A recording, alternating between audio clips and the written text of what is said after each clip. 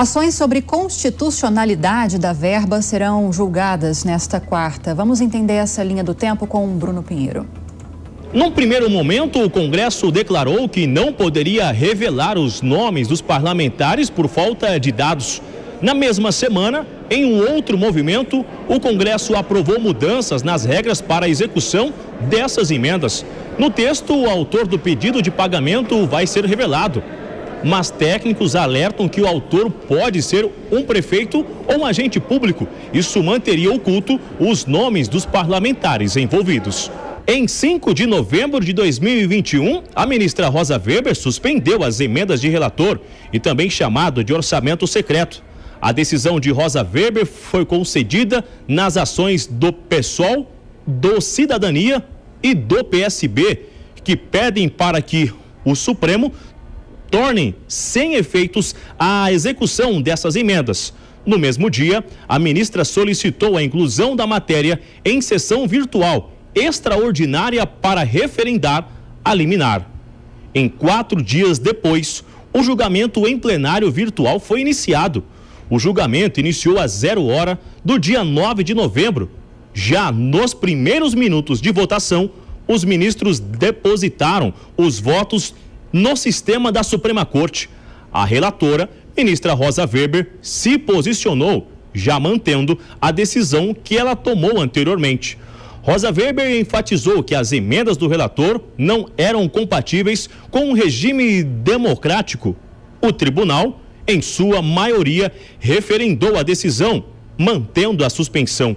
Atualmente, há quatro tipos de emendas parlamentares que são recursos do orçamento do governo federal destinados a obras e ações indicadas através de deputados e senadores em seus redutos eleitorais.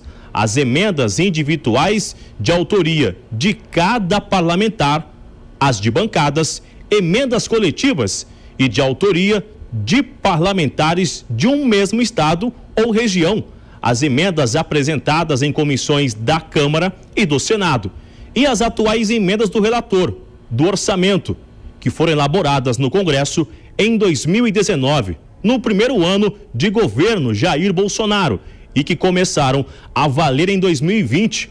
Em 2021, elas somaram quase 17 bilhões, a metade do valor total. Em 6 de dezembro, uma nova decisão. A ministra Rosa Weber acolheu o pedido formulado pelos presidentes da Câmara, dos Deputados e do Senado Federal para afastar a decisão cautelar ou seja, derrubar a suspensão.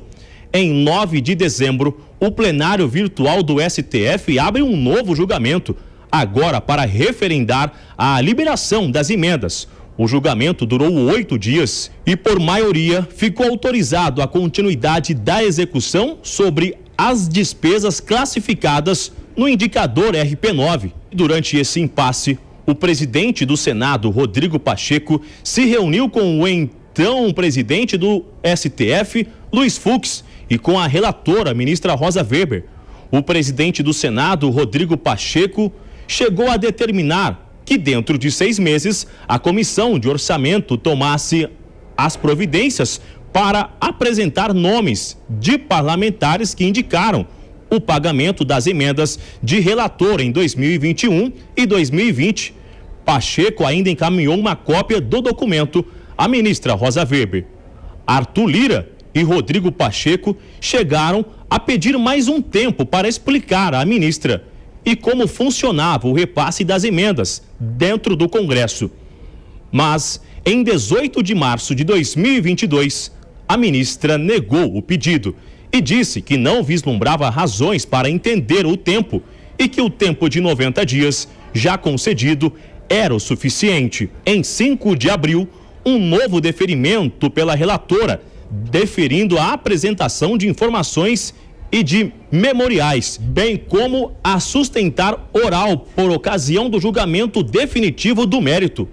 E completando um ano na Suprema Corte, a pauta foi liberada para julgamento antes do recesso judiciário. Nesta quarta-feira, o plenário do STF vai julgar quatro ações que discutem a constitucionalidade do pagamento das emendas do relator no orçamento, o chamado orçamento secreto.